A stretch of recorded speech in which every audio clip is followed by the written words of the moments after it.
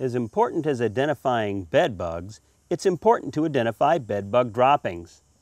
Bed bug droppings are black and inky and tarry, like anything that eats blood for a living. Here you can see they come out as little stains. They also come out as uh, little grains, little grainy droppings, and there's also big black tarry blobs that can happen when you have large infestations. Good place to look is in seams. You can't just look along the seams, you've got to look inside them. Got to be able to see back in where the bed bugs hide. Oh ho, there's one now.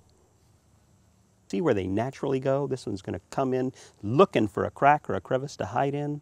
We have a couch section here. It used to be part of a couch. Now it's part of the props. Generally when we have furniture, this is what it looks like to us, but this is what it looks like to the bed bugs. As you can see, there's lots of places to get in and lots of places to hide. When you're looking for bed bugs on a couch, you're generally rolling back seams and looking underneath to see what kinds of things you can find. Looking under the seams, that's where we'll find bed bugs. Well, those aren't bed bugs, but those are the cast skins. Oh, say, look what we have here. Bed bugs in their natural environment.